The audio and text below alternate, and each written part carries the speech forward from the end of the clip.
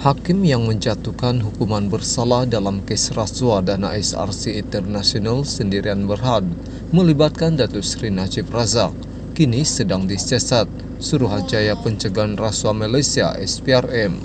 Sesatan terhadap Hakim Mahkamah Rayuan Datuk Muhammad Nazlan Muhammad Ghazal itu disahkan oleh Ketua Pesuruhjaya SPRM sendiri.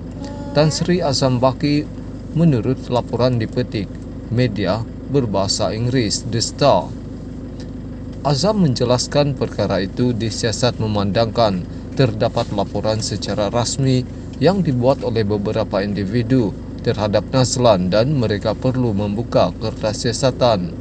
Ya, kami telah memulakan siasatan kami.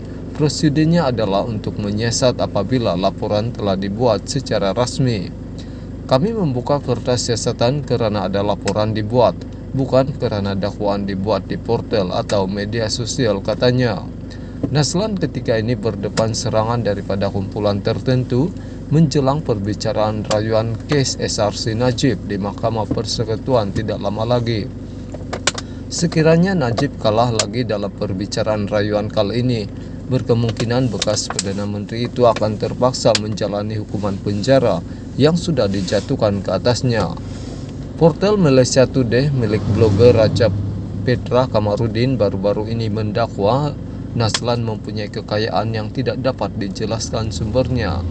Naslan kemudian membuat laporan polis berhubung artikel itu. Pasukan peguam Najib sebelum ini juga mendakwa Naslan mempunyai konflik kepentingan dalam kes 1MDB.